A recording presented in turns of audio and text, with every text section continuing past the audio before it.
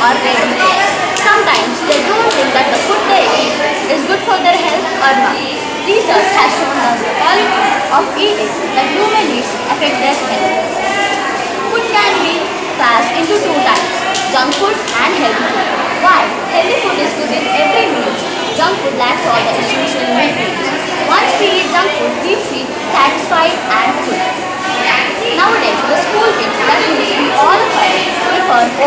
over junk food over healthy food and attracted by the taste and color appearance of the junk.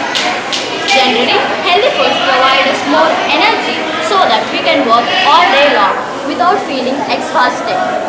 On the other hand, unhealthy food are low in energy and high in content. So, that's why some of the healthy foods are fresh fruits, yogurt, raw nuts, sprouts, etc. I'm not telling you all to don't eat junk food. We can eat junk food sometimes. If we eat junk food daily, we may fall sick. Without illness, we may face many problems. So that my message is to everyone to stay healthy and eat healthy.